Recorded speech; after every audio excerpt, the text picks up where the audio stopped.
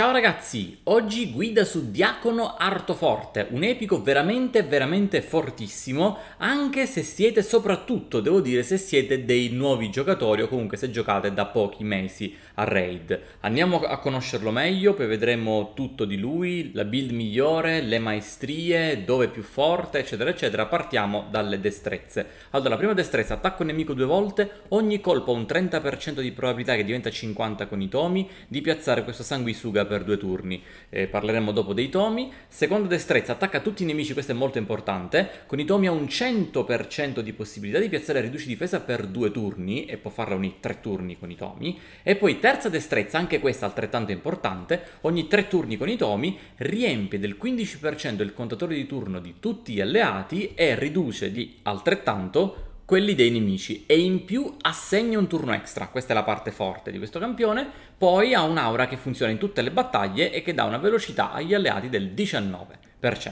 Quindi lui usa innanzitutto la terza destrezza per creare un gap in velocità tra i nostri campioni e quelli dell'avversario, si prende subito un turno extra e piazza il riduci difesa su tutti i nemici. Poi farà per un turnicino la, la, prima destrezza e ritornerà a fare nuovamente la terza perché intanto col turno extra si è ridotto di un turno il tempo di ricarica. Quindi praticamente questa è come se ce l'avesse ogni due turni la terza destrezza e può continuamente eh, allargare questo gap in velocità, in questo gap in contatore di turno tra noi e gli avversari e questo lo rende molto forte sia nelle roccaforti che anche in arena perché in arena può fare eh, riduci il contatore di turno e riempie il nostro, si prende un turno extra e anche riduce la difesa, quindi è come se occupasse due ruoli cioè il ruolo del riduci difesa e il ruolo dell'acceleratore. Quindi è un epico veramente molto molto forte ed è per questo che vi dico che su di lui i tomi, almeno sulla sulla seconda e sulla terza destrezza sarebbero assolutamente necessari, in particolare sulla seconda per mettere questo meno 2 ai tempi di ricarica, ma anche sulla terza per arrivare al 100% di possibilità di piazzare riduci difesa e anche questo meno 1 ai tempi di ricarica è molto molto utile. E questo sanguisuga sulla prima destrezza non so quanto possa essere utile a meno che voi non lo utilizziate contro il boss del clan a livelli magari non altissimi, perché sanguisuga potrebbe eh, aiutarvi a curare i vostri campioni se non hanno un set rubavita, quindi in quel caso è molto importante, se non avete il set rubavita su tutti i vostri campioni, eh, in caso contrario eh, avete visto come ho fatto io, anche se non mettete tutti i tomi sulla prima destrezza, non cambia moltissimo diciamo. Quindi passiamo alla mia build, ho cercato di trattenermi un po' con la build, quindi non è una build di quelle pazzesche, è comunque molto forte ma non è pazzesca, infatti mi sono mantenuto con la velocità. Quali sono le due statistiche principali, fondamentali su cui concentrarvi quando andate a buildare Diacono? Sono la velocità e la precisione. Per affrontare le roccaforti di alto livello, diciamo se volete, se siete dei giocatori non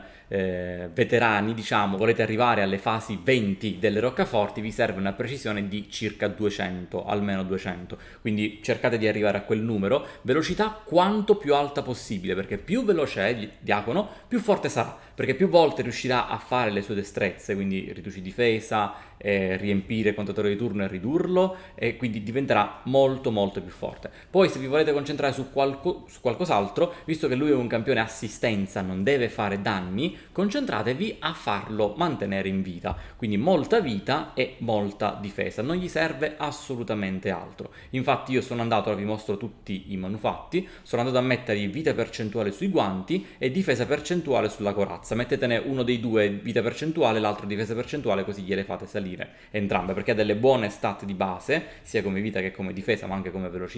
e stivali ovviamente velocità. Quindi vi mostro un po' tutto, vedete che l'arma è all'8, qualcuno è ancora al 12, non mi sono voluto spingere oltre, diciamo, però molto importante cercare sempre la velocità, come sottostatistica avete visto, magari anche la precisione, ma importantissima la velocità, infatti l'ho presa praticamente dovunque o quasi. Poi anello o vita o difesa non cambia tantissimo, l'importante è che abbia molta o vita percentuale o difesa percentuale o entrambe poi eh, amuleto, anche qua o video difesa, l'importante è che abbia molta precisione come sottostatistica. E poi standardo vi consiglio assolutamente precisione, magari con velocità come sottostatistica o comunque qualche statistica difensiva come vita o difesa. A livello di set io vi consiglio, come potete vedere da qui, set velocità, precisione, percezione Basta, non gli serve nient'altro. Qualsiasi altro set di manufatti sarebbe, diciamo, più deleterio per lui, che deve essere molto molto veloce, quindi ovviamente anche velocità divina o, o qualcosa del genere, però molto molto veloce e molto molto preciso. Questi sono i migliori set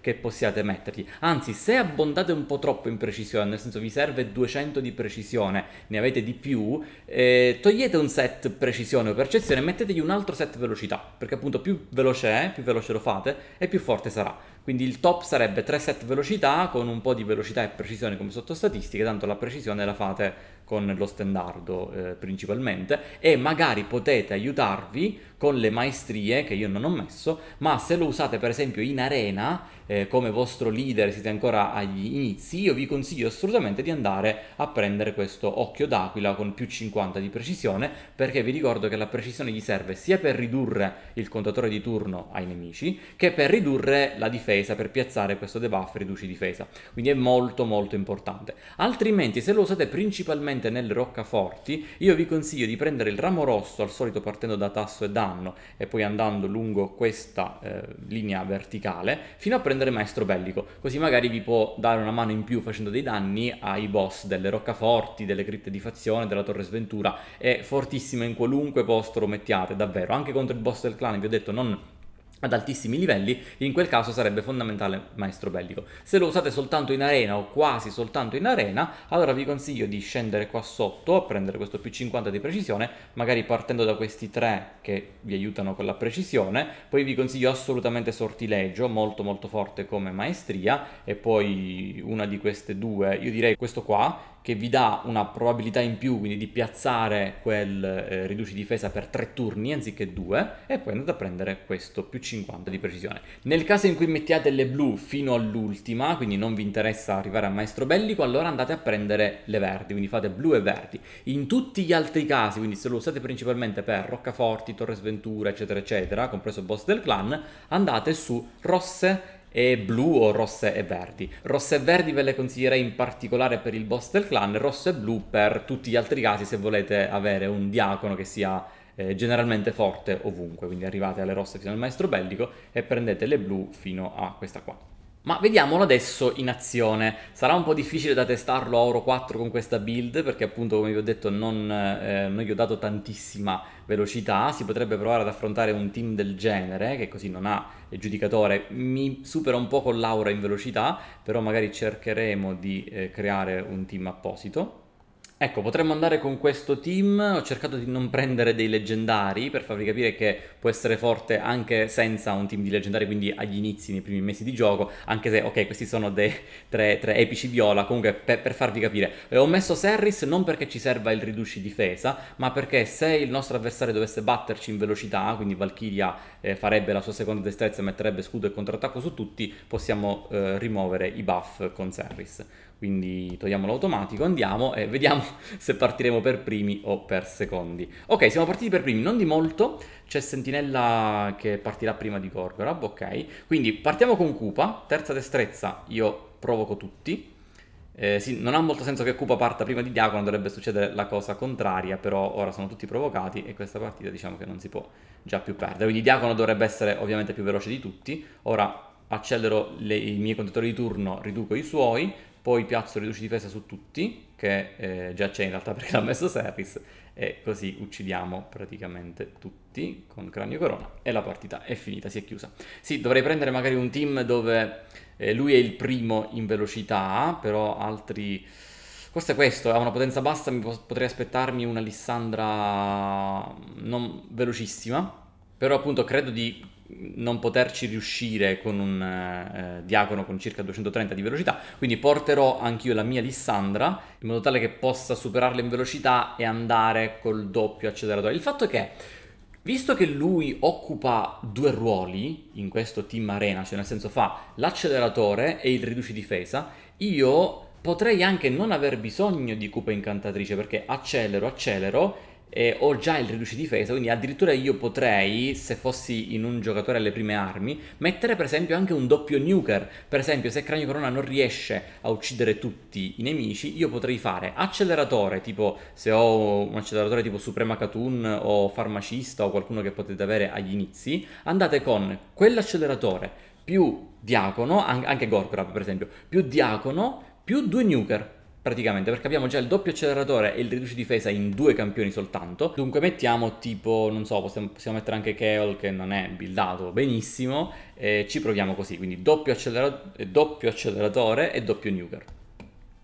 Ok, la mia Alessandra è molto veloce, sono sicuro di riuscire a batterla in velocità. Però devo vedere anche se Diacono, cioè soltanto Lissandra non mi aiuterebbe a partire prima di loro perché magari verrei interrotto. Devo capire se Diacono mi aiuta così tanto, esatto, da non farmi interrompere adesso. Dopo che attacca lui col suo secondo turno. Ok, ci siamo. Ok, perfetto. Perché appunto la mossa fondamentale è questa. Se portate due eh, acceleratori, dovete comunque non farvi interrompere, cioè due acceleratori senza qualcuno che possa provocare, stordire, congelare tutti i nemici. I vostri due acceleratori devono eh, far prendere un turno, ovviamente dopo anche ai, ai nuker, che in questo caso erano Cranio Corona e Keol, senza che gli avversari possano interrompervi e prendersi un turno eh, al posto vostro e proviamo ad approfittare dell'aura velocità di Diacono, perché ovviamente un'aura molto forte sarebbe quella di Corno Nodoso, che ha il 27% di difesa, ma usiamo la sua. Quindi il suo compito è quello di costantemente ridurre, eh, ridurre, il contatore di turno dei nemici accelerando il nostro e in più mettere il riduci difesa visto che altrimenti Mugiante metterebbe soltanto quello del 30%. Il problema è che contro eh, Drago 20 che è blu, Diacono con la seconda destrezza può fare dei colpi deboli, infatti avete visto che il secondo nemico qui e il quinto nemico hanno il riduci difesa quello piccolo del 30% che è quello di Mugiante perché lui non è riuscito a piazzarlo perché ha fatto dei colpi deboli. Quindi ok, magari può non essere fortissimo contro Drago 20 perché è blu, ma con tutti gli altri colori è molto molto molto forte. Comunque se la cava molto bene anche di qua, perché la terza destrezza, essendo che non dice che attacca tutti i nemici, ma soltanto che riduce il loro contatore di turno, allora non attaccando non può fare colpi deboli e questo vuol dire che riduce nel 100% dei casi, precisione permettendo, eh, il contatore di turno di tutti i nemici. E avete visto che è una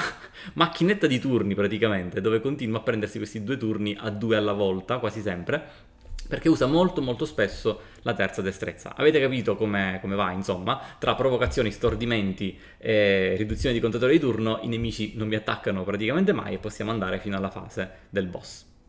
Eccoci quindi al drago. Qual è il compito di Diacono qui contro il drago? Ovviamente mettere il riduce difesa del 60% che ha già messo e continuamente accelerare il nostro contatore di turno. Vi ricordo che il boss è immune alle riduzioni di contatore di turno, quindi non può essere neanche rallentato, però comunque ci aiuta molto il fatto di poterci accelerare e prendere quindi più turni rispetto al, al drago. In questo modo magari riusciamo ad avere più turni e a non farci eh, sputare in faccia quando la barra è ancora viola, ce l'abbiamo fatta per fortuna con i veleni di Keol, e, e quindi è molto molto forte anche contro il, il drago in questo caso.